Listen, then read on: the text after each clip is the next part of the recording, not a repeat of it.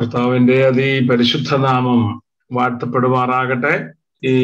Covid പാൻഡമിക്കിന്റെ നാളുകളിൽ നാം ഈ നാളുകളിൽ ചിന്തിച്ചുകൊണ്ടിരിക്കുകയായിരുന്നു അതുമായിട്ട് ബന്ധപ്പെട്ട പ്രധാനപ്പെട്ട പല വിഷയങ്ങളും നമ്മൾ വചനത്തിന്റെ അടിസ്ഥാനത്തിൽ ചിന്തിക്കുകയുണ്ടായി ഈ ദിവസങ്ങളിൽ നാം ചിന്തിച്ചുകൊണ്ടിരുന്നത് ദൈവത്തിന്റെ സ്വഭാവ വിശേഷതകളായിരുന്നു ദൈവത്തിന്റെ സ്വഭാവ വിശേഷതകളെ നമുക്ക് രണ്ടായിട്ട് തിരിക്കാനായിട്ട് സാധിക്കും ഒന്ന് ദൈവം പങ്കുവെക്കാത്ത സ്വഭാവ വിശേഷതകൾ അതിന് ദൈവത്തിന്റെ സ്വാഭാവിക പരിപൂർണതകൾ എന്നാണ് പറയുന്നത് നാച്ചുറൽ ആട്രിബ്യൂട്ട്സ് ആ സ്വാഭാവിക പരിപൂർണതകൾ ദൈവം ആരുമായും പങ്കുവെക്കുന്നില്ല they are the incommunicable attributes രണ്ടാമത് ദൈവം മനുഷ്യനുമായി പങ്കുവെക്കുന്ന ദൈവത്തിന്റെ സ്വഭാവ വിശേഷതകൾ they are the communicable attributes അത് ദൈവത്തിന്റെ ധാർമ്മിക പരിപൂർണതകളാണ് they are the moral attributes of God ഇങ്ങനെ രണ്ടായിട്ട് ദൈവത്തിന്റെ സ്വഭാവ വിശേഷതകളെ നമുക്ക് തരംതിരിക്കാനായിട്ട് കഴിയും അതിൽ നാം ചിന്തിച്ചുകൊണ്ടിരുന്നത് ദൈവം പങ്കുവെക്കാത്ത ദൈവത്തിന്റെ സ്വഭാവ വിശേഷതകളായിരുന്നു എനിക്ക് വന്നു കഴിഞ്ഞ ഒന്ന് രണ്ട് മൂന്ന് ക്ലാസ്സുകളിലായി ആ സ്വഭാവ വിശേഷതകൾ ഓരോന്നും ചുരുക്കമായിട്ടൊന്ന് മനസ്സിലാക്കുവാനായിട്ട് നാം ശ്രമിക്കുകയായിരുന്നു ഇന്ന് നാം ചിന്തിക്കുവാനായിട്ട് പോകുന്നത് ദൈവം മനുഷ്യനുമായി പങ്കുവെക്കുന്ന ദൈവത്തിന്റെ സ്വഭാവ വിശേഷതകളാണ് അല്ലെങ്കിൽ ദൈവത്തിന്റെ ധാർമ്മിക പരിപൂർണതകളാണ് അതിൽ ആദ്യമായിട്ട് ചിന്തിക്കുവാനായിട്ട് ആഗ്രഹിക്കുന്ന ദൈവത്തിന്റെ വിശുദ്ധിയാണ് ത്രിയേക ദൈവം വിശുദ്ധനാണ് നാം ദൈവത്തിന്റെ വചനം പരിശോധിക്കുമ്പോൾ പലപ്പോഴും നമ്മൾ ഓർക്കാറുള്ളത് ദൈവത്തിന്റെ സ്നേഹത്തെ കുറിച്ചാണ് ദൈവത്തിന്റെ മറ്റേത് സ്വഭാവ വിശേഷതകളെക്കാളും നമ്മുടെ ശുശ്രൂഷയിൽ നമ്മുടെ സഭായോഗങ്ങളിൽ പ്രത്യേകിച്ച് സുവിശേഷ യോഗങ്ങളിൽ വളരെ പ്രാധാന്യം നൽകി പ്രസംഗകർ അതുപോലെ ദൈവമക്കൾ വിശദീകരിക്കുന്നത് പഠിക്കുന്നത് പ്രസ്താവിക്കുന്നത് ദൈവത്തിന്റെ സ്നേഹത്തെ കുറിച്ചാണ് പലപ്പോഴും അങ്ങനെ നാം കേൾക്കുമ്പോൾ നമ്മുടെ മനസ്സിൽ വരുന്ന ചിന്തയെന്നുള്ളത് ദൈവവചനത്തിൽ ഏറ്റവും പ്രാധാന്യം നൽകി രേഖപ്പെടുത്തിയിരിക്കുന്ന ദൈവത്തിന്റെ സ്വഭാവ വിശേഷത എന്നുള്ളത് ദൈവത്തിന്റെ വിശുദ്ധി എന്നാണ് ദൈവത്തിന്റെ സ്നേഹമെന്നാണ് എന്നാൽ ഞാൻ ഓർപ്പിക്കട്ടെ ദൈവത്തിന്റെ സ്നേഹത്തെക്കാൾ ദൈവത്തിന്റെ വചനം പ്രാധാന്യം നൽകി ദൈവത്തിന്റെ വചനം വ്യക്തമാക്കുന്ന ദൈവത്തിന്റെ സ്വഭാവ വിശേഷത എന്നുള്ളത് ദൈവത്തിന്റെ വിശുദ്ധിയാണ് നമുക്കറിയാം ദൈവത്തിന്റെ സ്നേഹം അത് വളരെ പ്രത്യേകതയുള്ളതാണ് ദൈവത്തിന്റെ സ്നേഹം വ്യക്തിപരമായി അനുഭവിക്കുന്നവരാണ് നാമെങ്കിലും ആ ദൈവിക സ്നേഹത്തെക്കാൾ ദൈവത്തിന്റെ വചനം പ്രാധാന്യം നൽകുന്ന ഒന്നാണ് ദൈവത്തിന്റെ വിശുദ്ധി ത്രിയേക ദൈവത്തെക്കുറിച്ച് പഠിക്കുമ്പോൾ വേദപുസ്തകം വെളിപ്പെടുത്തുന്ന ദൈവത്തെക്കുറിച്ച് പഠിക്കുമ്പോൾ വളരെ പ്രാധാന്യത്തോടെ തന്നെ നാം ഓർക്കേണ്ട ഒരു വസ്തുതയാണ് ദൈവം വിശുദ്ധനാണ് എന്നുള്ളത് ആ ദൈവത്തിന്റെ വിശുദ്ധിയിൽ ത്രിയേക ദൈവത്തിന്റെ വിശുദ്ധിയിൽ ഒന്നാമത് ഓർപ്പിക്കുവാനായിട്ട് ആഗ്രഹിക്കുന്നത് പിതാവായ ദൈവം വിശുദ്ധനാണ് എന്നുള്ളതാണ് God the father is holy ത്രിയേകത്വത്തിലെ ആളത്തങ്ങളിൽ പിതാവായ ദൈവത്തെക്കുറിച്ച് നമുക്ക് വചനത്തിൽ നിന്ന് വ്യക്തമായിട്ട് മനസ്സിലാക്കുവാൻ കഴിയും പിതാവായ ദൈവം വിശുദ്ധനാണ് പത്രോഷിന്റെ ഒന്നാം ലേഖനം ഒന്നാം അധ്യായത്തിന്റെ പതിനഞ്ച് പതിനാറ് വാക്യങ്ങൾ നമുക്ക് വളരെ സുപരിചിതമാണ് നിങ്ങളെ വിളിച്ച വിശുദ്ധനൊത്തവണ്ണം അനുസരണമുള്ള മക്കളായി എല്ലാ നടപ്പിലും വിശുദ്ധരാകുകയും ഞാൻ വിശുദ്ധനാകയാൽ നിങ്ങളും വിശുദ്ധരായിരിപ്പീൻ എന്ന് എഴുതിയിരിക്കുന്നുവല്ലോ അവിടെ പഴയ നിയമത്തിലെ ഉദ്ധരണിയാണ് ഞാൻ വിശുദ്ധനാകയാൽ നിങ്ങളും വിശുദ്ധരായിരിപ്പീൻ അപ്പോൾ പിതാവായ ദൈവത്തെക്കുറിച്ചുള്ള ഒരു പരാമർശം എന്നുള്ള നിലയിൽ നമുക്കത് മനസ്സിലാക്കാനായിട്ട് സാധിക്കും നാം വിശുദ്ധ ജീവിതത്തിന് കടപ്പെട്ടവരായിരിക്കുമ്പോൾ ദൈവം ഒരു കൽപ്പനയായിട്ട് ദൈവത്തിന്റെ വചനത്തിൽ അത് രേഖപ്പെടുത്തിയിരിക്കുമ്പോൾ നമ്മുടെ വിശുദ്ധ ജീവിതത്തിനുള്ള മാതൃക ദൈവത്തിന്റെ വിശുദ്ധിയാണ് എനിക്ക് തോന്നുന്നു ഒരു നാലഞ്ചാഴ്ചയ്ക്ക് മുമ്പ് നമ്മുടെ ഞായറാഴ്ചത്തെ ഒരു വൈകിട്ടത്തെ മീറ്റിംഗിൽ ഞാൻ വ്യക്തിപരമായ ജീവിതത്തിലെ വിശുദ്ധി എന്നുള്ള വിഷയത്തെ കുറിച്ച് ഞാൻ സംസാരിക്ക ഉണ്ടായി അത് ഈ സമയം ഞാൻ ഓർക്കുകയാണ് എന്നാൽ അന്ന് നമ്മൾ ഈ വാക്യങ്ങളൊക്കെ കണ്ടതാണ് ഇവിടെ ഞാൻ വിശുദ്ധനാകയാൽ നിങ്ങൾ വിശുദ്ധരായിരിക്കും പഴയ നിയമത്തിൽ വെളിപ്പെട്ട ആ ദൈവത്തിന്റെ വിശുദ്ധി ആ അതേ വിശുദ്ധിയിൽ രക്ഷിക്കപ്പെട്ട ദൈവമക്കളും ജീവിക്കുവാനായിട്ട് ദൈവം കുറിച്ച് ആഗ്രഹിക്കുകയാണ് പിതാവായ ദൈവം അവിടുന്ന് വിശുദ്ധനാണ് മറ്റൊരു വാക്യം സങ്കീർത്തനം തൊണ്ണൂറ്റി ഒൻപതിന്റെ അഞ്ച് Sam ninety nine verse five നമ്മുടെ ദൈവമായ യഹോവയെ പുകഴ്ത്തുവീൻ അവന്റെ പാദപീഠത്തിങ്കിൽ നമസ്കരിപ്പീൻ അവൻ പരിശുദ്ധനാകുന്നു നമുക്കറിയാം നാം ദൈവത്തെ ആരാധിക്കേണ്ടവരാണ് ദൈവത്തെ ആരാധിക്കുവാൻ ദൈവത്തിന്റെ വചനത്തിൽ ദൈവജനത്തെ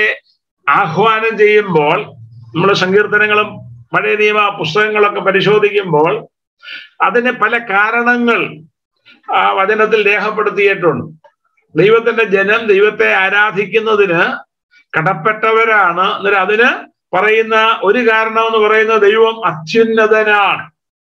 ദൈവം അത്യുന്നതനായതുകൊണ്ട് ദൈവം നമ്മുടെ ആരാധനയ്ക്ക് യോഗ്യനാണ് അതുപോലെ തന്നെ മറ്റൊരു കാരണം ദൈവത്തിന്റെ താഴ്ചയാണ് ദൈവം അത്യുന്നതനായിരിക്കുന്നത് പോലെ തന്നെ ദൈവം താഴ്ച അനുഭവിച്ചതുകൊണ്ട് ത്രിയേകത്വത്തിലെ പുത്രനായ ദൈവം നമുക്ക് വേണ്ടി മനുഷ്യനായി ദൈവവചനത്തിൽ നമ്മൾ വായിക്കുന്നത് പോലെ ദൈവരൂപത്തിലിരിക്കെ ദൈവത്തോടുള്ള സമത്വം മുറുകെ എന്ന് വിചാരിക്കാതെ ദാസരൂപമെടുത്ത് മനുഷ്യ സാദൃശ്യത്തിലായി തന്നെ താൻ ഒഴിച്ചു വേഷത്തിൽ മനുഷ്യനായി വിളങ്ങി തന്നെ തന്നെ താഴ്ത്തിയത് കൊണ്ട് ദൈവം ആരാധനയ്ക്ക് യോഗ്യനാണ് മറ്റൊരു കാരണം നമ്മൾ ഇവിടെ കാണുന്നത് അവൻ പരിശുദ്ധനാകുന്നു നോക്കുക ദൈവമായ ഹോവേ ദൈവജനെ പുകഴ്ത്തേണ്ടതാണ്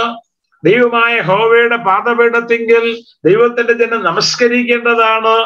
അതിന് കൊടുത്തിരിക്കുന്ന ഒരു കാരണം അവിടുന്ന് പരിശുദ്ധനാകുന്നു പിതാവായ ദൈവം വിശുദ്ധനായ ദൈവമാണ് അവിടുന്ന് പരിശുദ്ധനായ ദൈവമാണ് ദൈവത്തിന്റെ വചനം വ്യക്തമായി നമ്മെ ആ വസ്തുത ഓർപ്പിക്കുകയാണ് മറ്റൊരു പ്രധാനപ്പെട്ട വാക്യം വിഷയ പ്രവാചകന്റെ പുസ്തകം ആറാം അധ്യായത്തിന്റെ മൂന്നാമത്തെ വാക്യം അവിടെ ആ ദൂതന്മാർ ദൈവത്തെ ആരാധിക്കുന്ന ഒരു രംഗമാണ് അന്നേരം ഒരുത്തനോട് ഒരുത്തൻ സൈന്യങ്ങളുടെ ഹോവ പരിശുദ്ധൻ പരിശുദ്ധൻ പരിശുദ്ധൻ സർവഭൂമിയും അവന്റെ മഹത്വം കൊണ്ട് നിറഞ്ഞിരിക്കുന്നുവെന്ന് ആർത്ത് പറഞ്ഞുകൊണ്ട് ആ ദൂതന്മാർ ദൈവത്തെ ആരാധിക്കുകയാണ് സൈന്യങ്ങളുടെ ഹോവ പരിശുദ്ധൻ പരിശുദ്ധൻ പരിശുദ്ധൻ ഇത് നമുക്കറിയാം പഴയ നിയമത്തിലെ ഉദ്ധരണിയാണ് അത് പിതാവായ ദൈവത്തോടുള്ള ബന്ധത്തിൽ നമുക്ക് കാണുവാൻ കഴിയും അപ്പോൾ തന്നെ വേദപണ്ഡിതന്മാര് അവര് ഈ വാക്യം എടുത്തിട്ട് അവിടെ ദൂതന്മാർ ദൈവത്തിന് മഹത്വം കൊടുക്കുമ്പോൾ ദൈവത്തെ ആരാധിക്കുമ്പോൾ മൂന്ന് പ്രാവശ്യമാണ് സൈന്യങ്ങളുടെ യഹോവ പരിശുദ്ധൻ പരിശുദ്ധൻ പരിശുദ്ധൻ എന്ന് ആ പരിശുദ്ധിയെ കുറിച്ച് പറയുന്നത് യഹോവ പരിശുദ്ധൻ പരിശുദ്ധൻ പരിശുദ്ധൻ എന്ന് മൂന്ന് പ്രാവശ്യം ആവർത്തിച്ച് പറയുന്നതിൽ ചില വേദപണ്ഡിതന്മാരൊക്കെ പറയുന്നത് അത് ത്രിയേക ദൈവത്തോടുള്ള ബന്ധത്തിലാണ് അതിലെ ആദ്യത്തെ പരിശുദ്ധൻ എന്നുള്ളത് പിതാവിനോട് ബന്ധപ്പെട്ടും രണ്ടാമത്തേത് പുത്രനോട് ബന്ധപ്പെട്ടും മൂന്നാമത്തേത് പരിശുദ്ധാത്മാവിനോട് ബന്ധപ്പെട്ടുമെന്ന് ആ നിലയിൽ വ്യാഖ്യാനിക്കുന്ന പ്രിയപ്പെട്ടവരെ നമുക്ക് കാണുവാനായിട്ട് സാധിക്കും പിതാവായ ദൈവം വിശുദ്ധനാണ് പരിശുദ്ധനാണ് യശയാ പ്രവാചകന്റെ പുസ്തകം ആറാം അധ്യായത്തിന്റെ മൂന്നാം വാക്യം അത് വ്യക്തമായിട്ട് നമ്മെ ഓർപ്പിക്കുന്നു രണ്ടാമത് നമ്മുടെ കർത്താവിനെ കുറിച്ച് പുത്രൻ തമ്പുരാനെ കുറിച്ച് ചിന്തിക്കുമ്പോൾ ദൈവത്തിന്റെ വചനം ആ വസ്തുതയും വ്യക്തമായിട്ട് നമ്മെ ഓർപ്പിക്കുന്നു പുത്രനായ ദൈവം വിശുദ്ധനാണ് God the son is holy വളരെ സുപരിചിതമായ ഒരു ഭാഗമാണ് എബ്രായ ലേഖനം ഏഴിന്റെ ഇരുപത്തി ആറാമത്തെ വാക്യം ഇങ്ങനെയുള്ള മഹാപുരോഹിതനല്ലോ നമുക്ക് വേണ്ടിയത് പവിത്രൻ നിർദോഷൻ നിർമ്മലൻ പാപികളോട് വേറുവിട്ടവൻ സ്വർഗത്തെക്കാൾ ഉന്നതനായവൻ നമ്മുടെ കർത്താവായ യേശുക്രിസ്തുവിന്റെ മഹത്വം വ്യക്തമാക്കുന്ന യേശുക്രിസ്തുവിന്റെ പരിശുദ്ധി വ്യക്തമാക്കുന്ന ആ വളരെ പ്രധാനപ്പെട്ട ഒരു ഭാഗമായിട്ട് നമുക്കിതിനെ കാണുവാനായിട്ട് കഴിയും അവിടുന്ന് പവിത്രനായ ദൈവമാണ് നിർദോഷനായ ദൈവമാണ് നിർമ്മലനായ ദൈവമാണ് നോക്കുക ഈ മൂന്ന് പദങ്ങളും ഈ പവിത്രൻ നിർദോഷൻ നിർമ്മലൻ ഈ മൂന്ന് പദങ്ങളും വ്യക്തമാക്കുന്നത് കർത്താവായ യേശു ക്രിസ്തുവിന്റെ പരിശുദ്ധിയാണ് പുത്രനായ ദൈവം വിശുദ്ധനാണെന്നുള്ള സത്യമാണ് പുത്രനായ ദൈവത്തിൽ അശുദ്ധിയില്ല എന്ന് വ്യക്തമാക്കുന്ന ഒരു വചനഭാഗമായി നമുക്കിതിനെ കാണുവാനായിട്ട് സാധിക്കും നമുക്ക് അറിയാം ദൈവത്തിന്റെ വചനം നമ്മൾ പരിശോധിക്കുമ്പോൾ നമ്മുടെ കർത്താവായ യേശു ക്രിസ്തു തന്നെ പരസ്യമായി വെല്ലുവിളിച്ചതാണ് നിങ്ങളിലാർ എന്നെ പാപത്തെക്കുറിച്ച് ബോധം വരുത്തും തന്നിൽ കുറ്റം കണ്ടുപിടിക്കുവാനായി നിരന്തരം അനുഗമിച്ചിരുന്ന ആ ജനസമൂഹത്തെ നോക്കിക്കൊണ്ട് അന്നത്തെ നേതൃത്വത്തെ നോക്കിക്കൊണ്ട് യേശുക്രിസ്തു പരസ്യമായി വെല്ലുവിളിച്ചതാണ് നിങ്ങളിൽ ആർക്ക് പാപത്തെ കുറിച്ച് എന്നിലുള്ള പാപത്തെ ചൂണ്ടിക്കാണിക്കുവാനായിട്ട് കഴിയും ആർക്കും ആ കഥാവായ യേശുക്രിസ്തുവിലുള്ള ആ അശുദ്ധി അല്ലെങ്കിൽ പാപത്തെ ചൂണ്ടിക്കാണിക്കുവാൻ അന്ന് കഴിഞ്ഞില്ല എന്നുള്ളത് ആ വചനം പരിശോധിക്കുമ്പോൾ നമുക്ക് മനസ്സിലാക്കുവാനായിട്ട് സാധിക്കും എന്തും ഏതും ചാടിക്കേറി പ്രവർത്തിക്കുന്ന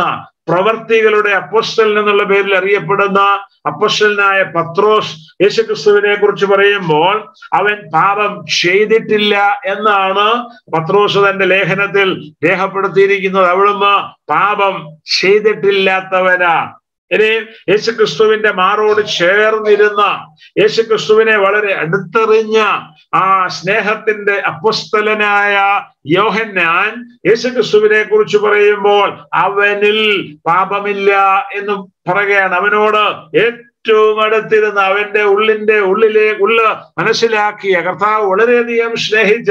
ആ യോഹന്നാന് അതാണ് പറയാനുണ്ടായിരുന്നത് ഇനി അറിവിന്റെ അപ്പശ്വലനായ പൗലോസ് യേശു ക്രിസ്തുവിനെ കുറിച്ച് എന്താ പറഞ്ഞത് പാപമറിയാത്തവനെ നാം അവനിൽ ദൈവത്തിന്റെ നീതിയാകേണ്ടതിന് അവൻ നമുക്ക് വേണ്ടി പാപമാക്കി യേശുക്രിസ്തു അവിടുന്ന് പാപം അറിയാത്തവനാണ് പാപം ഇല്ലാത്തവനാണ് പാപം ചെയ്തിട്ടില്ലാത്തവനാണ് നിങ്ങളിൽ പാപത്തെ പാപത്തെക്കുറിച്ച് ബോധം വരുത്തുമെന്ന് പരസ്യമായി വെല്ലുവിളിച്ചവനാണ് അവിടുന്ന് പവിത്രനാണ് നിർദോഷനാണ് നിർമ്മലനാണ് പുത്രനായ ദൈവം വിശുദ്ധനായ ദൈവമാണ് അപ്പോൾ തന്നെ നാം ചിന്തിക്കേണ്ട ഒരു കാര്യമുണ്ട് ഈ ഈ പരിശുദ്ധനായ പാപമില്ലാത്തവനായ കർത്താവ് എന്തിനു വേണ്ടി മരണം ഏറ്റെടുക്കേണ്ടതായിട്ട് വന്നു അതിനെ വ്യക്തമാക്കുന്നത് പാപം ചെയ്യുന്ന ദേഹി മരിക്കും പാപത്തിന്റെ ശമ്പളം മരണമത്രേ അങ്ങനെ ആ പാതയ്ക്ക് പാപത്തിന്റെ ശമ്പളമായി മരണം വെച്ചിരിക്കുമ്പോൾ ഈ വിശുദ്ധനായ പരിശുദ്ധനായ പാപമില്ലാത്തവനായ നിർദോഷനായ നിർമ്മലനായ കർത്താവായ യേശുക്രിസ്തു എന്തിനു വേണ്ടി ക്രൂശിൽ മരിക്കണം പ്രിയമുള്ളവരെ ഞാനും നിങ്ങളും മരിക്കേണ്ട സ്ഥാനത്ത് ഞാനും നിങ്ങളും നിത്യമായി നരകത്തിലേക്ക് ചെന്ന് പതിക്കേണ്ട സ്ഥാനത്ത് ആ മരണശിക്ഷ നമുക്ക് വേണ്ടി ഏറ്റെടുത്ത നമ്മുടെ പകരക്കാരനായി തീർന്ന കർത്താവ് കർത്താവായ യേശുക്രിസ്തുവിനെ നമുക്ക് കാണുവാനായിട്ട് സാധിക്കും പ്രിയമുള്ളവരെ നമ്മെ സ്നേഹിച്ച് നമുക്ക് വേണ്ടി തന്നെ തന്നെ ഏൽപ്പിച്ചു തന്ന ആ പരിശുദ്ധനായ ആ ദൈവപുത്രൻ അവിടുന്ന് ആ നിലയിൽ നമുക്ക് വേണ്ടി മരിച്ചടക്കപ്പെട്ട് ഉയർത്തിരുന്നേറ്റത് കൊണ്ടാണ് ഇന്ന് രക്ഷിക്കപ്പെടുവാൻ ദൈവമക്കൾ എന്നുള്ള നിലയിൽ ഇന്ന് നമുക്ക് ജീവിക്കുന്നതിനും ഇന്ന് മീറ്റിംഗിൽ ആ ദൈവമക്കൾ എന്നുള്ള നിലയിൽ പങ്കെടുക്കുവാൻ ഇടയായി ആയി തീർന്നതും എന്നെ കേൾക്കുന്നവരിൽ ആരെങ്കിലും ഇതുവരെ രക്ഷിക്കപ്പെടാത്തവരായിട്ടുണ്ടെങ്കിൽ ജീവനുള്ള ദൈവമൊരുക്കിയ വിശുദ്ധനായ ദൈവമൊരുക്കിയ രക്ഷ വ്യക്തിപരമായി കൈവശമാക്കാത്തവരായിട്ട് ആരെങ്കിലും ഉണ്ടെങ്കിൽ താങ്കൾക്ക് വേണ്ടി കൂടിയാണ് താങ്കളുടെ രക്ഷയ്ക്ക് വേണ്ടി കൂടിയാണ് കർത്താവായ യേശു ക്രിസ്തു വിശുദ്ധനായ പുത്രൻ തമ്പുരാൻ പാപികൾക്ക് വിധിക്കപ്പെട്ടിരുന്ന മരണശിക്ഷ പാപികളുടെ സ്ഥാനത്ത് പാപികൾക്ക് പകരക്കാരനായി പാപമാക്കപ്പെട്ടവനായി ആ ക്രൂശിതനായി തീർന്ന് നമുക്ക് വേണ്ടി ആ മരണശിക്ഷ ഏറ്റെടുക്കുവാൻ ഇടയായി തീർന്നത് ആ കർത്താവിന്റെ സന്നിധിയിലേക്ക് കടന്നു വന്ന് കർത്താവെ അവിടുത്തെ മരണം എൻപേർ കാണുന്നു ഞാൻ വിശ്വസിക്കുന്നുവെന്ന് ഏറ്റുപറഞ്ഞ് ദൈവമക്കളായി തീരുവാൻ ദൈവമകനായി തീരുവാൻ മകളായി തീരുവാൻ രക്ഷിക്കപ്പെടാത്ത ആരെങ്കിലും ഈ ശുശ്രൂഷയിൽ പങ്കെടുക്കുന്നുണ്ടെങ്കിൽ ഈ ഓൺലൈൻ പ്ലാറ്റ്ഫോമിലൂടെ യൂട്യൂബിലൂടെ പിന്നീട് ഈ പ്രോഗ്രാം കാണുന്നുണ്ടെങ്കിൽ അങ്ങനെയുള്ളവര് തങ്ങളുടെ ജീവിതത്തെ കുറിച്ച് ചിന്തിക്കുവാൻ തങ്ങളെ സ്നേഹിച്ച് മരിച്ചടക്കപ്പെട്ട് ഉയർത്തെഴുന്നേറ്റ ജീവനുള്ള ദൈവമായ വിശുദ്ധനായ ദൈവമായ വിശുദ്ധിയിൽ ജീവിച്ച എന്നിൽ ഉള്ള പാപത്തെ ചൂണ്ടിക്കാണിക്കുവാൻ ആർക്ക് കഴിയുമെന്ന് പരസ്യമായി വെല്ലുവിളിച്ച ആ കർത്താവായ യേശുക്രിസ്തുവിൽ വിശ്വസിച്ച ജീവനുള്ള വിശുദ്ധനായ ദൈവത്തിൽ വിശ്വസിച്ച് ദൈവമകനായി മകളായി തീരുവാൻ ഈ ശുശ്രൂഷ നിങ്ങൾക്ക് ഒരു മുഖാന്തരമായി തീരട്ടെ പുത്രനായ ദൈവം വിശുദ്ധന് മാത്രമല്ല അതിനെ നമ്മെ ഓർപ്പിക്കുന്നത് പരിശുദ്ധാത്മാവായ ദൈവത്തിന്റെ വിശുദ്ധിയുമാണ് പരിശുദ്ധാത്മാവായ ദൈവവും വിശുദ്ധനായ ദൈവമാണ് God the holy is holy അതിന് വളരെ വ്യക്തമായ ഒരു വാക്യമാണ് രണ്ട് കോരിന്തിയർ പതിമൂന്നിന്റെ പതിനാലാമത്തെ വാക്യം ഇവിടെ നമ്മൾ വായിക്കുന്നത് കർത്താവായ യേശുക്രിസ്തുവിന്റെ കൃപയും ദൈവത്തിന്റെ സ്നേഹവും പരിശുദ്ധാത്മാവിന്റെ കൂട്ടായ്മയും നിങ്ങളെല്ലാവരോടും കൂടെ ഇരിക്കുമാറാകട്ടെ അവിടെ ആ ആത്മാവിന് കൊടുത്തിരിക്കുന്ന വിശേഷണമാണ് പരിശുദ്ധ ആത്മാവ് എന്നുള്ളത് ത്രിയേകത്വത്തിലെ ആളത്തങ്ങളിൽ ഒരുവനായ ആത്മാവിന് കൊടുത്തിരിക്കുന്ന വിശേഷണമാണ് അവിടെ കൊടുത്തിരിക്കുന്ന ഒരു അബ്ജക്റ്റീവാണ് നാമവിശേഷണമാണ് ആ പരിശുദ്ധ ആത്മാവ് പരിശുദ്ധ എന്നുള്ളത് അന്നേരം അതും നമ്മെ ഓർപ്പിക്കുന്നത് പരിശുദ്ധാത്മാവിന്റെ പേര് ആ നിലയിൽ എവിടൊക്കെ വരുന്നു അതൊക്കെ നമ്മെ ഓർപ്പിക്കുന്നത് ആ ത്രിയേകത്വത്തിലെ ആളത്തമായ ആത്മാവിന്റെ പരിശുദ്ധാത്മാവിന്റെ വിശുദ്ധിയാണ് തീർച്ചയായിട്ടും ദൈവചനം പഠിക്കുന്ന ഏതൊരു വ്യക്തിക്കും ദൈവത്തിന്റെ വചനത്തിൽ ഞാൻ നേരത്തെ ഓർപ്പിച്ചതുപോലെ ഏറ്റവും പ്രാധാന്യം നൽകി ഏറ്റവും കൂടുതൽ പ്രാവശ്യം ആവർത്തിച്ച് രേഖപ്പെടുത്തിയിരിക്കുന്ന പരാമർശിച്ചിരിക്കുന്ന ദൈവത്തിന്റെ സ്വഭാവ വിശേഷതയാണ് ദൈവത്തിന്റെ വിശുദ്ധി ദൈവം വിശുദ്ധനാണ് പരിശുദ്ധനാണ് എന്നുള്ളത് മൂന്നാളത്തെ സംബന്ധിച്ചും അതൊരുപോലെ വാസ്തവമാണ് എന്ന് തീർച്ചയായിട്ടും നമുക്ക് വചനത്തിൽ നിന്ന് കാണുവാനായിട്ട് സാധിക്കും ആ ദൈവത്തിന്റെ പരിശുദ്ധിയെ കുറിച്ച് ചിന്തിക്കുമ്പോൾ നമ്മൾ ആദ്യം തന്നെ പറയുകയുണ്ടായത് ദൈവം പങ്കുവെക്കുന്ന സ്വഭാവ വിശേഷതയാണ് നമ്മൾ ദൈവസന്നിധിയിൽ അശുദ്ധരായിരുന്നു എന്നാൽ കൃപയാൽ കഥാവായ യേശു ക്രിസ്തുവിന്റെ രക്തത്താൽ വീണ്ടെടുക്കപ്പെട്ടവരായതുകൊണ്ട് ദൈവമക്കളായി തീർന്നതുകൊണ്ട് കുറിച്ച് ദൈവം ആഗ്രഹിക്കുന്നത് വിശുദ്ധിയിൽ ഞാനും നിങ്ങളും ജീവിക്കണം എന്നുള്ളതാണ് അതാണ് നമ്മൾ ആദ്യം കണ്ട വാക്യം ഞാൻ വിശുദ്ധരാകയാൽ നിങ്ങളും വിശുദ്ധരായിരിക്കും രക്ഷിക്കപ്പെട്ട ദൈവമക്കൾ എന്നുള്ള നിലയിൽ ജീവിക്കുമ്പോൾ നമുക്ക് ഇഷ്ടം പോലെ അല്ലെങ്കിൽ നമ്മുടെ സ്വാതന്ത്ര്യ പ്രകാരം ബോധിച്ച നിലയിൽ അശുദ്ധിയിൽ ജീവിക്കുവാൻ നമുക്ക് അനുവാദമില്ല കാരണം നാം വീണ്ടെടുക്കപ്പെട്ട ദൈവമക്കളാണ് നാം വിശുദ്ധീകരിക്കപ്പെട്ട സ്ഥാനീയമായി വിശുദ്ധീകരിക്കപ്പെട്ട ദൈവമക്കളാണ് നമ്മുടെ അനുദിന ജീവിതത്തിൽ പ്രായോഗിക ജീവിതത്തിൽ തുടർമാനമായ വിശുദ്ധി നമുക്കുണ്ടാകണമെന്ന് ദൈവം ആഗ്രഹിക്കുന്നത് കൊണ്ടാണ് ആ പത്രോഷന്റെ ലേഖനത്തിൽ വ്യക്തമായ ആ കൽപ്പന നിർദ്ദേശം ദൈവമക്കൾക്ക് നൽകിയത് ഞാൻ വിശുദ്ധനാകയാൽ നിങ്ങളും വിശുദ്ധരായിരിക്കേ ഒന്ന് നമ്മിലേക്ക് തന്നെ ഒന്ന് നോക്കുവാൻ ദൈവം സഹായിക്കട്ടെ ഏതെങ്കിലും നിലയിലുള്ള അശുദ്ധി നമ്മുടെ ജീവിതത്തിൽ ഉണ്ടെങ്കിൽ ആണെങ്കിൽ അശുദ്ധി നിറഞ്ഞ പ്രവൃത്തി അല്ലെങ്കിൽ അശുദ്ധി നിറഞ്ഞ സംസാരം അശുദ്ധി നിറഞ്ഞ ജീവിത ചൈര്യ നമ്മുടെ ജീവിതത്തിൽ ഉണ്ടെങ്കിൽ അങ്ങനെയുള്ള കുറവുകൾ ദൈവത്തിന്റെ സന്നദ്ധിയിൽ ഏറ്റുപറയുവാൻ ദൈവം ആഗ്രഹിക്കുന്ന നിലവാരത്തിലുള്ള ഒരു ജീവിത നിലവാരത്തിലേക്ക് മടങ്ങി വരുവാൻ നമുക്ക് നമ്മെ തന്നെ ദൈവത്തിന്റെ കരങ്ങളിൽ സമർപ്പിക്കാം അതിന് ഈ പഠനം ഒരു മുഖാന്തരമായി തീരട്ടെ നാം വചനത്തിൽ വായിക്കുന്നു ഒന്ന് യോഹന്നാൻ ഒന്നിന്റെ എട്ടു ഒൻപതും വാക്യങ്ങൾ നമുക്ക് പാപമില്ല എന്ന് നാം പറയുന്നുവെങ്കിൽ നമ്മെ തന്നെ വഞ്ചിക്കുന്നു സത്യം നമ്മിലില്ലാതെയായി നമ്മുടെ പാപങ്ങളെ ഏറ്റുപറയുന്നുവെങ്കിൽ അവൻ നമ്മോട് പാപങ്ങളെ ക്ഷമിച്ച് സകല നീതിയും പോക്കി നമ്മെ ശുദ്ധീകരിപ്പാൻ തക്കവണ്ണം വിശ്വസ്തനും നീതിമാനും ആകുന്നു പലപ്പോഴും നമ്മൾ ചിന്തിക്കാറുണ്ട് ഇത് സുവിശേഷം പറയുമ്പോൾ പറയുന്ന ഭാഗമാണ് അല്ലെങ്കിൽ അവിശ്വാസികളോടുള്ള ഭാഗമാണെന്നൊക്കെ ചിന്തിക്കുന്നവരുണ്ടെന്നാൽ അങ്ങനെയല്ല യോഹന്നാന്റെ ലേഖനം എഴുതിയിരിക്കുന്നത് വിശ്വാസികൾക്കാണ് വിശ്വാസികളെ അഭിസംബോധന ചെയ്തുകൊണ്ട് എഴുതിയിരിക്കുന്ന ഒരു ലേഖനമാണ് അവരോട് പറയുകയാണ് നമുക്ക് പാപമില്ല എന്ന് നാം പറയുന്നുവെങ്കിൽ നമ്മെ തന്നെ വഞ്ചിക്കുന്നു അതുകൊണ്ട് എന്താ ചെയ്യേണ്ടത് നമ്മുടെ പാപങ്ങളെ നാം ഏറ്റുപറയുമ്പോൾ നമ്മുടെ പാപങ്ങളെ ക്ഷമിച്ച് സകല അനീതിയും പോക്കുകയും നമ്മെ ശുദ്ധീകരിപ്പാൻ തക്കവണ്ണം പിതാവായ ദൈവം വിശ്വസ്തനും നീതിമാനുമാണ് ഒരിക്കൽ കാൽവറി ക്രൂശിൽ നമുക്ക് വേണ്ടി ചൊരിഞ്ഞ ആ യേശുക്രിസ്തുവിന്റെ രക്തത്തിന്റെ അടിസ്ഥാനത്തിൽ കാൽവറി ക്രൂശിലെ യേശുക്രിസ്തുവിന്റെ മരണത്തിന്റെ അടിസ്ഥാനത്തിൽ ദൈവമക്കൾ അവരുടെ പാപങ്ങളെ ഏറ്റുപറയുമ്പോൾ ആ പാപങ്ങളെ ആ ക്ഷമിച്ച് ആ പുരോഗമനോത്മുഖമായ വിശുദ്ധിയിൽ ജീവിക്കുവാൻ ആവശ്യമുള്ള കൃപ ദൈവം നമുക്ക് നൽകി സഹായിക്കും അതിന് ഈ ചിന്ത നമുക്കൊരു മുഖാന്തരമായി ആ തീരട്ടെ ദൈവം അതിനായി നമ്മെ സഹായിക്കട്ടെ രണ്ടാമത് നമ്മള് ആ ദൈവത്തിന്റെ ദൈവം പങ്കുവെക്കുന്ന സ്വഭാവ വിശേഷതകളെ കുറിച്ച് ചിന്തിക്കുമ്പോൾ ഓർക്കുവാനായിട്ടുള്ളത് അല്ലെങ്കിൽ ഇന്ന് ഓർപ്പിക്കുവാൻ ഞാൻ ആഗ്രഹിക്കുന്നത് ത്രിയേക ദൈവം നീതിമാനാണ് എന്നുള്ളതാണ് ദൈവത്തിന്റെ നീതി The triune God is righteous. ദൈവം നീതിമാനായ ദൈവമാണ് നമ്മൾ ആ ദൈവത്തിന്റെ നീതിയെക്കുറിച്ച് പഠിക്കുമ്പോൾ ഞാൻ ഓർപ്പിക്കുവാൻ ആഗ്രഹിക്കുന്നത് ദൈവത്തിന്റെ നീതി ദൈവത്തിന് വിശുദ്ധിയോടുള്ള സ്നേഹത്തെ വെളിപ്പെടുത്തുന്നു അല്ലെങ്കിൽ ദൈവത്തിന്റെ നീതി എന്ന് പറയുന്ന ദൈവത്തിന്റെ സ്വഭാവ വിശേഷത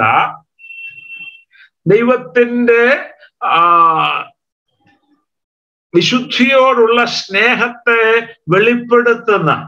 ദൈവത്തിന്റെ വിശുദ്ധിയോടുള്ള സ്നേഹത്തെ പ്രദർശിപ്പിക്കുന്ന ഒരു സ്വഭാവ വിശേഷതയാണ് അന്നേരം ദൈവം ആ വിശുദ്ധനാണ് നാം എല്ലാവരും വിശുദ്ധിയിൽ ജീവിക്കുവാൻ ദൈവം ആഗ്രഹിക്കുന്നു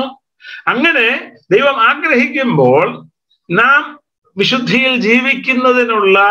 പ്രമാണങ്ങൾ ദൈവം നമുക്ക് നൽകിയിട്ടുണ്ട് പഴയ നിയമത്തിൽ ന്യായപ്രമാണം ദൈവം ദൈവത്തിന് നൽകി നമുക്ക് സമ്പൂർണ്ണ ബൈബിൾ ഉൽപ്പത്തി പുസ്തകം മുതൽ വെളിപ്പാട് വരെയുള്ള പുസ്തകങ്ങളിലൂടെ ദൈവം ആലോചന നൽകി നമുക്ക് ആ ആലോചന പ്രകാരം ജീവിക്കുന്നതിന് ദൈവം നമ്മെ സഹായിച്ചുകൊണ്ടിരിക്കുന്നു അപ്പോൾ ദൈവത്തിന്റെ നീതി എന്ന് പറയുന്നത് ദൈവത്തിന് വിശുദ്ധിയോടുള്ള സ്നേഹത്തെ വെളിപ്പെടുത്തുന്നു ആ ആ വിശുദ്ധിയിൽ ദൈവജനം മനുഷ്യൻ ജീവിക്കുന്നതിന് ആവശ്യമുള്ള എല്ലാ പ്രമാണവും ദൈവം നമുക്ക് നൽകിയിട്ടുണ്ട് ആ പ്രമാണമനുസരിച്ച് നാം ജീവിക്കേണ്ടത് നമ്മുടെ ഉത്തരവാദിത്വമാണ് അത് ദൈവത്തിന്റെ നീതിയുടെ അടിസ്ഥാനത്തിൽ ദൈവം നമ്മിൽ നിന്ന് പ്രതീക്ഷിക്കുന്ന ആ വസ്തുതയുമാണ് പിതാവായ ദൈവത്തെക്കുറിച്ച് നമുക്ക് കാണുവാൻ കഴിയുന്നത് പിതാവായ ദൈവം നീതിമാനാണ് എന്നുള്ളതാണ് God the father is righteous നമ്മൾ സങ്കീർത്തനം എൺപത്തൊൻപതിന്റെ പതിനാലാമത്തെ വാക്യത്തിൽ വായിക്കുന്നത് നീതിയും ന്യായവും നിന്റെ സിംഹാസനത്തിന്റെ അടിസ്ഥാനമാകും സങ്കീർത്തനക്കാരൻ ദൈവത്തെക്കുറിച്ച് ധ്യാനിക്കുമ്പോൾ താൻ ഓർക്കെയാണ് നീതിയും ന്യായവും നിന്റെ സിംഹാസനത്തിന്റെ അടിസ്ഥാനമാണ് ദൈവത്തിന്റെ ഒരു സ്വഭാവ വിശേഷതയായിട്ട് ഇവിടെ ദൈവത്തിന്റെ നീതിയെ സങ്കീർത്തനക്കാരൻ രേഖപ്പെടുത്തിയിരിക്കുകയാണ് മറ്റൊരു വാക്യം മുപ്പത്തിയാറാം സങ്കീർത്തനത്തിന്റെ ആറാം വാക്യം ഇവിടെ നമ്മൾ കാണുന്നത് നിന്റെ നീതി ദിവ്യ പർവ്വതങ്ങളെ പോലെയും നിന്റെ ന്യായവിധികൾ വലിയ ആഴിയെ പോലെയും ആകുന്നു അവിടെയും ദൈവത്തിന്റെ ആ നീതി നമുക്ക് കാണുവാനായിട്ട് സാധിക്കും അടുത്തതായിട്ട് പുത്രനായ ദൈവത്തെക്കുറിച്ച് ചിന്തിക്കുമ്പോഴും നമുക്ക് കാണുവാൻ കഴിയുന്നത് ആ അവിടുന്ന് നീതിമാനാണ് എന്നുള്ളതാണ് യേശുക്രിസ്തുവിനെ കുറിച്ചും വചനത്തിന്റെ താളുകളിലൂടെ നമുക്ക് ഗ്രഹിക്കുവാൻ കഴിയുന്ന ഒരു വസ്തുതയാണ് കർത്താവായ യേശുക്രിസ്തു നീതിമാനാണ് യശയാവ് അൻപത്തി മൂന്നിന്റെ പതിനൊന്നാം വാക്യം അവിടെ നമ്മൾ കാണുന്നത് അവൻ തന്റെ പ്രയത്നഫലം കണ്ട് തൃപ്തനാകും നീതിമാനായ എന്റെ ദാസൻ തന്റെ പരിജ്ഞാനം കൊണ്ട് പലരെയും നീതീകരിക്കും അവരുടെ അകൃത്യങ്ങളെ അവൻ വഹിക്കും നമുക്കറിയാം കഥാവായ യേശുക്രിസ്തുവിന്റെ ആ ക്രൂശ്യമരണത്തെ കുറിച്ച് യേശുക്രിസ്തു ക്രൂശിൽ അനുഭവിച്ച വ്യഥകളെ കുറിച്ച് നമ്മുടെ കർത്താവ് പുത്രൻ എന്തായി തീർന്നു എന്നുള്ളതിനെ കുറിച്ച് വളരെ വ്യക്തമായി രേഖപ്പെടുത്തിയിരിക്കുന്ന ഒരു പ്രവചന ഭാഗമാണ് അൻപത്തി മൂന്നാം അധ്യായം വിഷയ പ്രവാചകന്റെ പുസ്തകത്തിലെ അൻപത്തി മൂന്നാമത്തെ അധ്യായം അവിടെ യേശുക്രിസ്തുവിനെ ചിത്രീകരിച്ചിരിക്കുന്നത് നീതിമാനായ എന്റെ ദാസൻ എന്നാണ് നീതിമാനായ എന്റെ ദാസൻ പലരെയും നീതീകരിക്കും അവരുടെ അകൃത്യങ്ങളെ അവൻ വഹിക്കും നീതിമാനായ ആ പുത്രൻ മറ്റൊരു വാക്യം റോമാലേഖനം അഞ്ചിന്റെ പതിനേഴും പതിനെട്ടും വാക്യങ്ങൾ ഇവിടെ നമ്മൾ കാണുന്നത് ഏകന്റെ ലംഘനത്താൽ മരണം ആ ഏകൻ നിമിത്തം വാണു എങ്കിൽ കൃപയുടെയും നീതിദാനത്തിന്റെയും സമൃദ്ധി ലഭിക്കുന്നവർ യേശുക്രിസ്തു എന്ന ഏകൻ നിമിത്തം ഏറ്റവും അധികമായി ജീവനിൽ വാഴും പന്ത്രണ്ടാം വാക്യത്തിൽ നമുക്കറിയാം ഏക മനുഷ്യനാൽ പാപവും പാപത്താൽ മരണവും ലോകത്തിൽ കടന്നു അവിടെ ആദാമിന്റെ ആ പാപത്തെ കുറിച്ചാണ് അവിടെ പറയുന്നത് പതിനേഴാം വാക്യത്തിലും ഏകന്റെ ലംഘനത്താൽ മരണം ആ ഏകൻ നിമിത്തം വാണുവെങ്കിൽ അത് ആദാമിനെ കുറിച്ച് പറയുമ്പോൾ അതിന്റെ അവസാനത്തേക്ക് വരുമ്പോൾ യേശു ക്രിസ്തു എന്ന ഏകൻ നിമിത്തം അധികമായി ഏറ്റവും അധികമായി ജീവനിൽ വാഴും എന്നിട്ട് പതിനെട്ടാം വാക്യം അങ്ങനെ ഏകലംഘനത്താൽ സകല മനുഷ്യർക്ക് ശിക്ഷാവധി വന്നതുപോലെ ഏകനീതിയാൽ സകല മനുഷ്യർക്കും ജീവകാരണമായ നീതീകരണവും വന്നു എന്നിട്ട് രണ്ട് കാര്യമാണ് ഒന്ന് ഏകന്റെ ലംഘനം അത് ആദാമന്റെ ലംഘനം ആ ആ ആദാമിന്റെ ലംഘനത്താൽ സകല മനുഷ്യർക്കും ശിക്ഷാവധി വന്നു മറുവശത്ത് കർത്താവായ യേശു ക്രിസ്തു എന്ന ഏകൻ ആ ഏകന്റെ നീതിയാൽ ആ കർത്താവായ യേശുക്രിസ്തുവിന്റെ നീതിയാൽ സകല മനുഷ്യർക്കും ജീവകാരണമായ നീതീകരണം അവരുവാൻ ഇടയായിട്ട് തീർന്നു നമ്മൾ വായിക്കുന്നുണ്ട് ആ പാപമറിയാത്തവനെ അവൻ നമുക്ക് ദൈവത്തിന്റെ നീതിയാകേണ്ടതിന് അവൻ അവനെ നമുക്ക് വേണ്ടി പാപമാക്കി എന്ന് പൗലോസ് ആ കുരിന്തി ലേഖനത്തിൽ ഒരു ഭാഗത്ത് പറയുന്നു അപ്പോഷല പ്രവർത്തി മൂന്നിന്റെ പതിനാലാമത്തെ വാക്യം അവിടെ പത്രോസിന്റെ പ്രസംഗത്തിൽ പത്രോസ് പറയുകയാണ് പരിശുദ്ധനും നീതിമാനുമായവനെ നിങ്ങൾ തള്ളിപ്പറഞ്ഞ് കൊലപാതകനായവനെ വിട്ടുതരണമെന്ന് ചോദിച്ചു ജീവനായകനെ കൊന്നുകളഞ്ഞു നോക്കുക പത്രോസിന്റെ പ്രസംഗം നമുക്കറിയാം അതൊക്കെ വളരെ വളരെ പരിശുദ്ധാത്മ നിറവിൽ എന്റെ കൊസ്തുനാളിൽ പത്രോസ് പ്രസംഗിച്ചപ്പോൾ അത് ഹൃദയത്തിൽ ആഞ്ഞ് തറയ്ക്കത്തക്ക നിലയിലുള്ള സന്ദേശമായി ഒരു കാലത്ത് ആ ഭയപ്പെട്ട് യേശുവിനെ തള്ളിപ്പറഞ്ഞ പത്രോസ് പരിശുദ്ധാത്മാവിനാൽ നിയന്ത്രിക്കപ്പെട്ടപ്പോൾ വളരെ ശക്തിയോടുകൂടെ വളരെ വ്യക്തതയോടുകൂടെ ഒരു ഭയവും കൂടാതെ കർത്താവായ യേശു ക്രിസ്തുവിനെ പ്രസംഗിച്ച ദൈവദാസനായി തീരുവാൻ ഇടയായിട്ട് തീർന്നു നമുക്കറിയാം ബന്ധുക്കോസ്റ്റ് നാളിൽ അവിടെ മൂവായിരം പേരെന്ന് രക്ഷിക്കപ്പെട്ട് സ്നാനപ്പെട്ടെന്ന് നമുക്ക് കാണാനായിട്ട് കഴിയുന്ന വലിയൊരു ഉള്ളപ്പോൾ അതും യഹൂദന്മാരുടെ വലിയൊരു കൂട്ടമുള്ളപ്പോൾ അവരുടെ മുമ്പിൽ തറപ്പിച്ച് നിങ്ങൾ ക്രൂശിച്ച യേശുവിനെ തന്നെ ദൈവം കർത്താവ് ക്രിസ്തുവുമാക്കി വെച്ചു എന്ന് ധൈര്യത്തോടുകൂടെ ആ പ്രസ്താവിക്കാനുള്ള പ്രസംഗിക്കാനുള്ള ആ തൻ്റെ ഇടം പരിശുദ്ധാത്മാവിൽ ആ പത്രോഷന് ലഭിക്കുവാൻ ഇടയായിട്ട് തീർന്നു പിന്നീട് നമ്മൾ മൂന്നാം അധ്യായത്തിലേക്ക് കടന്നു വരുമ്പോൾ അവിടെ ആ സുന്ദരമെന്ന ദൈവാലയ ഗോപുരത്തെങ്കിൽ ഇരുന്ന് ഭിക്ഷയാചിച്ച വ്യക്തിക്ക് സൗഖ്യം കൊടുത്ത കോണ്ടക്സ്റ്റിൽ താൻ ആ പ്രസംഗിക്കുമ്പോൾ നമുക്ക് കാണുവാനായിട്ട് കഴിയുന്നത് പരിശുദ്ധനും നീതിമാനുമായവനെ നിങ്ങൾ തള്ളിപ്പറഞ്ഞ് കൊലപാതകനായവനെ വിട്ടുതരണമെന്ന് ചോദിച്ചു അവിടെ കർത്താവായ യേശുക്രിസ്തുവിനെ വിശേഷിപ്പിക്കുന്നത് നമ്മൾ കണ്ടു യേശുക്രിസ്തു പരിശുദ്ധനാണ് അതിന് നമുക്ക് ഈ വാക്യം എടുക്കാം എന്നിട്ട് താൻ പറയുന്നത് പരിശുദ്ധനും നീതിമാനുമായവനെ നിങ്ങൾ തള്ളിപ്പറഞ്ഞ് യേശുക്രിസ്തു നീതിമാനാണ് പിതാവായ ദൈവം നീതിമാനാണ് അതുപോലെ തന്നെ പുത്രനെ കുറിച്ചും ദൈവത്തിന്റെ വചനം നമ്മെ ഓർപ്പിക്കുന്നത് പുത്രനായ ദൈവം കർത്താവായ യേശുക്രിസ്തു അവിടുന്ന് നീതിമാനാണ് ഇനി പരിശുദ്ധാത്മാവിനെ കുറിച്ച് നമുക്ക് കാണാനായിട്ട് കഴിയുന്നത് എന്താ പരിശുദ്ധാത്മാവ് വന്ന് യോഹന്നാന്റെ സുവിശേഷം പതിനാറിന്റെ എട്ടാം വാക്യം അവൻ വന്ന് പാപത്തെക്കുറിച്ചും നീതിയെക്കുറിച്ചും ന്യായവിധിയെക്കുറിച്ചും ലോകത്തിന് ബോധം വരുത്തും പരിശുദ്ധാത്മാവായ ദൈവം ആ കർത്താവ് പരിശുദ്ധാത്മാവ് വരുമ്പോൾ കർത്താവ് പറഞ്ഞതനുസരിച്ച് ആ പിതാവായ ദൈവം അയക്കുന്ന ആ പരിശുദ്ധാത്മാവ് വരുമ്പോൾ പരിശുദ്ധാത്മാവിന്റെ ശുശ്രൂഷ എന്താ ഇന്നുള്ള പരിശുദ്ധാത്മാവിന്റെ ശുശ്രൂഷ എന്താ പാപത്തെക്കുറിച്ചും നീതിയെക്കുറിച്ചും ന്യായവിധിയെക്കുറിച്ചും ലോകത്തിന് ബോധം വരുത്തുക എന്നുള്ള ആ ശുശ്രൂഷയാണ് പരിശുദ്ധാത്മാവ് നീതിമാനായതുകൊണ്ട് നീതിമാനായ വ്യക്തി എന്നുള്ള നിലയിൽ ആളത്വം എന്നുള്ള നിലയിൽ വ്യക്തമായി ദൈവത്തിന്റെ ആ നീതിയെക്കുറിച്ച് പാപത്തെക്കുറിച്ച് പാപത്തിന് ലഭിക്കുന്ന ശിക്ഷയെക്കുറിച്ച് ദൈവം നൽകുന്ന നീതിയെക്കുറിച്ച് ആ ന്യായവിധിയെക്കുറിച്ചൊക്കെ ലോകത്തിന് ബോധം വരുത്തുമെന്ന് കർത്താവ് പിതാവായ യേശു ക്രിസ്തു വളരെ വ്യക്തമായിട്ട് ഓർപ്പിക്കുകയാണ് നമ്മൾ കണ്ടു പിതാവായ ദൈവം പുത്രനായ ദൈവം പരിശുദ്ധാത്മാവായ ദൈവം ആ ഈ മൂന്നാളത്തങ്ങളെയും നമുക്ക് ആ നീതിയോട് ബന്ധപ്പെട്ട് വചനത്തിൽ നിന്ന് കാണുവാനായിട്ട് സാധിക്കും അങ്ങനെ ആ ദൈവമക്കൾ എന്നുള്ള നിലയിൽ ഞാൻ നിങ്ങളും ജീവിക്കുമ്പോൾ ദൈവം പങ്കുവെക്കുന്ന സ്വഭാവ വിശേഷത എന്നുള്ള നിലയിൽ ആ ദൈവത്തിന്റെ ആ നീതി നമ്മുടെയും ജീവിതത്തിന്റെ ഭാഗമായി തീരേണ്ടതാണ് നമ്മുടെ ജീവിതത്തിന്റെ സ്വഭാവ വിശേഷതയായിട്ടത് തീരേണ്ടതാണ് കാരണം നമ്മൾ കണ്ടത് അത് ദൈവം പങ്കുവെക്കുന്ന സ്വഭാവ വിശേഷതയാണ് ദൈവം വിശുദ്ധനാണ് ദൈവം ആ വിശുദ്ധി നാം രക്ഷിക്കപ്പെട്ടപ്പോൾ നമുക്ക് നൽകുന്നു അത് നമ്മൾ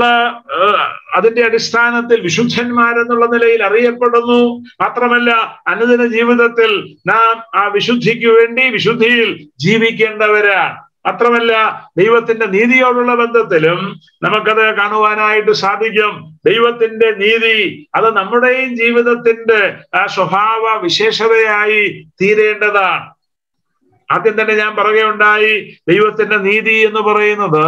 ദൈവത്തിന് വിശുദ്ധിയോടുള്ള സ്നേഹത്തെ കാണിക്കുന്നു എന്നുള്ളത് അതുകൊണ്ട് ദൈവം പ്രമാണങ്ങൾ നൽകി ദൈവത്തിന്റെ വചനം നൽകി ആ വചനമനുസരിച്ച് പ്രമാണമനുസരിച്ച് വിശുദ്ധിയിൽ ആ ജീവിക്കുമ്പോൾ തീർച്ചയായിട്ടും അത് ദൈവം ആഗ്രഹിക്കുന്ന നിലവാരത്തിലുള്ള ഒരു ജീവിത ശൈലിയായി തീരും ഇവിടെ പത്രോഷ് വിശ്വാസികളെ ഓർപ്പിക്കുന്നത് ഒന്ന് പത്രോസ് മൂന്നിന്റെ പതിനാല് മുതലുള്ള വാക്യങ്ങളിൽ ഓർപ്പിക്കുന്നത് നീതി നിമിത്തം കഷ്ടം സഹിക്കേണ്ടി വന്നാലും നിങ്ങൾ ഭാഗ്യവാന്മാർ അവരുടെ ഭീഷണത്തിങ്കിൽ ഭയപ്പെടുകയും കലങ്ങുകയും അരുത് എന്നാൽ ക്രിസ്തുവിനെ നിങ്ങളുടെ ഹൃദയങ്ങളിൽ കർത്താവായി വിശുദ്ധീകരിപ്പീൻ പതിനേഴാം വാക്യം നിങ്ങൾ കഷ്ടം സഹിക്കണമെന്ന് ദൈവഹിതമെങ്കിൽ തിന്മ ചെയ്തിട്ടല്ല നന്മ ചെയ്തിട്ട് സഹിക്കുന്നത് ഏറ്റവും നല്ലത് അല്ല ഇവിടെ നീതി നിമിത്തം കഷ്ടം സഹിക്കേണ്ടി വന്നാലും നിങ്ങൾ ഭാഗ്യവാന്മാർ നീതി എന്ന് പറഞ്ഞാൽ ഞാൻ നേരത്തെ പറഞ്ഞു വിശുദ്ധിയോടുള്ള ആ സ്നേഹമാണ് വിശുദ്ധിയിൽ ജീവിക്കുന്നതിന് ദൈവം നൽകിയ വചനത്തോടുള്ള ആ സ്നേഹമാണ് ദൈവം നൽകിയ പ്രമാണത്തോടുള്ള സ്നേഹമാണ് ആ പ്രമാണം വിട്ട് ഇടത്തോട്ടോ വലത്തോട്ടോ മാറാതെ ആ പ്രമാണമനുസരിച്ച് ജീവിക്കുന്ന ഒരു ജീവിത ശൈലിയാണ് ദൈവമക്കളിൽ നിന്ന് പ്രതീക്ഷിക്കുന്നത് എന്നാൽ നമുക്കറിയാം ഈ ദുഷ്ടലോകത്തിൽ ഞാനും നിങ്ങളും ജീവിക്കുമ്പോൾ സത്യത്തിന് വേണ്ടി നീതിക്ക് വേണ്ടി നിന്നാൽ ചിലപ്പോൾ കഷ്ടം സഹിക്കേണ്ടി വരും പ്രത്യേകിച്ച് ഗവൺമെന്റ് ഗവൺമെന്റ് സർവീസിലൊക്കെ ജോലി ചെയ്യുന്ന പല ദൈവമക്കളും കൈക്കൂലി വാങ്ങാത്തത് കൊണ്ട് ഒറ്റപ്പെട്ടവരായിത്തീരുന്നു കൈക്കൂലി വാങ്ങാത്തത് കൊണ്ട് കൂടെ വർക്ക് ചെയ്യുന്ന സ്റ്റാഫിൽ നിന്ന് കൂടെ ജോലി ചെയ്യുന്ന ആ സഹപ്രവർത്തകരിൽ നിന്ന് ചിലപ്പോൾ ഓഫീസേഴ്സിൽ നിന്നൊക്കെ പ്രയാസം അനുഭവിക്കേണ്ടി വരുന്നുണ്ട് എന്നാൽ ഇവിടെ പത്രോസ് വിശ്വാസികളെ ഓർപ്പിക്കുകയാണ് നീതി നിമിത്തം കഷ്ടം സഹിക്കേണ്ടി വന്നാലും നിങ്ങൾ ഭാഗ്യവാന്മാർ ഓർപ്പിക്കാൻ കാരണം എന്താ താൻ ഈ ലേഖനം എഴുതുന്നത് വിശ്വാസ നിമിത്തം ചിതറപ്പെട്ട് പല സ്ഥലങ്ങളിൽ കഴിയുന്ന ദൈവമക്കൾക്കാണ് അന്നേരം അവര് വിശ്വാസത്തിന് വേണ്ടി ഒരു നിലപാടെടുത്തത് കൊണ്ട് സത്യത്തിന് വേണ്ടി ഒരു നിലപാടെടുത്തത് കൊണ്ട് ദൈവവചനത്തിന്റെ പ്രിൻസിപ്പിളിന് വേണ്ടി ഒരു നിലപാടെടുത്തത് കൊണ്ട് കഷ്ടം സഹിക്കേണ്ടി വന്നവരാണ് നാടോടുമ്പോൾ നടുവെ ഓടുക ആ അല്ലെങ്കിൽ ആ എവിടെ ചേരയെ തിന്നുന്ന നാട്ടിൽ അല്ലെങ്കിൽ പാമ്പിനെ തിന്നുന്ന നാട്ടിൽ ചെന്നാൽ നടുത്തുണ്ടം തിന്നുക അങ്ങനെയുള്ള ലോകത്തിന്റെ പ്രമാണം അനുസരിച്ച് ജീവിക്കുന്നവർക്ക് അങ്ങനെയുള്ള പ്രശ്നങ്ങളൊന്നും ഉണ്ടാകാറില്ല എന്നാൽ ഒരു പ്രിൻസിപ്പിൾ നമ്മുടെ ജീവിതത്തിന്റെ ഭാഗമാകുമ്പോൾ ദൈവവചനപ്രകാരം ജീവിക്കുവാനുള്ള ഒരു തീരുമാനം നാം എടുക്കുമ്പോൾ നീതിക്ക് വേണ്ടി ജീവിക്കാനുള്ള ഒരു തീരുമാനം എടുക്കുമ്പോൾ പ്രിയമുള്ളവരെ നമുക്ക് പ്രയാസം ഉണ്ടാകാനുള്ള സാധ്യതയുണ്ട് അതുകൊണ്ടാണ് ദൈവ ദൈവത്തിന്റെ വചനത്തിൽ നമ്മൾ വായിക്കുന്നത് നീതി നിമിത്തം കഷ്ടം സഹിക്കേണ്ടി വന്നാലും നിങ്ങൾ ഭാഗ്യവാന്മാർ അവരുടെ ഭീഷണത്തിങ്കിൽ ഭയപ്പെടുകയും കലങ്ങുകയും വരുത് പതിനേഴാം വാക്യത്തിൽ വായിക്കുന്നത് കഷ്ടം സഹിക്കണമെന്ന് ദൈവഹിതമെങ്കിൽ തിന്മ ചെയ്തിട്ടല്ല നന്മ ചെയ്തിട്ട് സഹിക്കുന്നത് ഏറ്റവും നല്ലത് നമ്മുടെ കയ്യിലിരിപ്പ് കൊണ്ട് കഷ്ടം ആ സഹിക്കുന്നതിനേക്കാൾ ദൈവത്തിന്റെ സന്നദ്ധയിൽ വിലയുള്ളത് നന്മ ചെയ്തിട്ട് കഷ്ടം സഹിക്കുക നീതി നിമിത്തം കഷ്ടം സഹിക്കുക സത്യത്തിന് വേണ്ടി നിലനിൽക്കുന്നത് കൊണ്ട് കഷ്ടം സഹിക്കുക പ്രത്യേകിച്ച് നാലാം അധ്യായത്തിലേക്ക് വരുമ്പോൾ ഒന്ന് പത്രോസ് നാലിലേക്ക് വരുമ്പോൾ ക്രിസ്തു നിമിത്തം സുവിശേഷം നിമിത്തം കഷ്ടം സഹിക്കുക ചില സ്ഥലങ്ങളിലൊക്കെ ചില സുവിശേഷന്മാർ തന്നെ അവരുടെ കയ്യിലിരിപ്പ് കൊണ്ട് ജീവിത പെശ കൊണ്ട് അല്ലെങ്കിൽ അവരുടെ സംസാര ദോഷം കൊണ്ട് അടിമേടിച്ചിട്ട് അത് സുവിശേഷത്തിന് വേണ്ടിയാണെന്ന് പബ്ലിസിറ്റി കൊടുത്ത് അതിൽ നിന്ന് വരുമാനം ഉണ്ടാക്കാനായിട്ട് ശ്രമിക്കുന്നവരും ദൈവം നമ്മെക്കുറിച്ച് ആഗ്രഹിക്കുന്നത് അങ്ങനെയല്ല നീതി നിമിത്തം സത്യ നിമിത്തം സുവിശേഷ നിമിത്തം ക്രിസ്തു നിമിത്തം ആ നന്മ ചെയ്യുന്നത് കൊണ്ട് കഷ്ടം സഹിക്കേണ്ടി വന്നാൽ നാം ഭാഗ്യവാന്മാരാണോ നാം പത്രോസിന്റെ ലേഖനത്തിൽ നമ്മൾ കാണുന്നുണ്ട് ഒന്ന് പത്രോസ് നാലിൽ നാം കാണുന്നുണ്ട് ക്രിസ്തു നിമിത്തം സുവിശേഷ നിമിത്തം നാം കഷ്ടം അനുഭവിക്കുമ്പോൾ ക്രിസ്തുവിന്റെ കഷ്ടങ്ങൾക്ക് പങ്കുള്ളവരായി തീരുവാൻ പ്രിയ സഹോദരി സഹോദരന്മാരെ ദൈവം നമുക്ക് നൽകുന്ന ഒരവസരമാണത് തീർച്ചയായിട്ടും അങ്ങനെ അവസരം ലഭിക്കുന്ന ലഭിച്ച ദൈവദാസന്മാരെ ഓർത്ത് ഞാൻ ദൈവത്തിന് സ്തോത്രം ചെയ്യുകയാണ് കാരണം നമ്മുടെ കർത്താവ് നമുക്ക് വേണ്ടി പങ്കപ്പാട് സഹിച്ചവനാണ് ആ കാലുറി ക്രൂശിലെ ആ വേദനയുടെ അനുഭവത്തിലൂടെ കടന്നുപോയവനാണ് അത്തരം ആ കർത്താവിന്റെ കഷ്ടങ്ങൾക്ക് പങ്കുള്ളവരായി തീരുവാൻ അവസരം ലഭിക്കുന്നത് സുവിശേഷ നിമിത്തം കർത്താവിന് വേണ്ടി സത്യത്തിന് വേണ്ടി നിലകൊള്ളുമ്പോൾ വരുന്ന ആ കഷ്ടത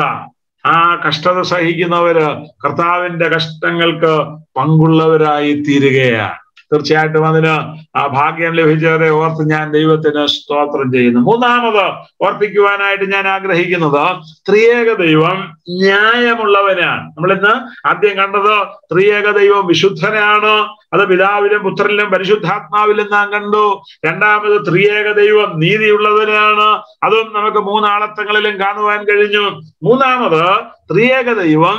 ന്യായമുള്ളവനാണ് the triune God is just ഇവിടെ ദൈവത്തിന്റെ ന്യായം എന്ന് പറയുന്നത് ദൈവത്തിന് അശുദ്ധിയോടുള്ള വെറുപ്പിനെ കാണിക്കുന്നു ഞാൻ നേരത്തെ പറയുകയുണ്ടായി ദൈവത്തിന്റെ നീതി എന്ന് പറയുന്നത് ദൈവത്തിന്റെ വിശുദ്ധിയോടുള്ള ഇഷ്ടത്തെ കാണിക്കുമ്പോൾ അതിന്റെ ജസ്റ്റ് ഓപ്പോസിറ്റ് ആണ് ദൈവത്തിന്റെ ന്യായം ദൈവത്തിന് അശുദ്ധിയോടുള്ള പാപത്തോടുള്ള വെറുപ്പിനെ വെളിപ്പെടുത്തുന്ന ദൈവത്തിന്റെ സ്വഭാവ വിശേഷതയാണ് ദൈവത്തിന്റെ